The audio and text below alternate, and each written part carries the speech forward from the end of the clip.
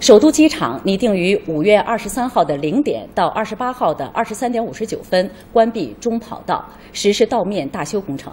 届时，首都机场将由三条跑道运行调整为两条跑道运行，所以各航空公司会调减或者是合并部分航班，其中部分航班调整到天津和石家庄机场执行。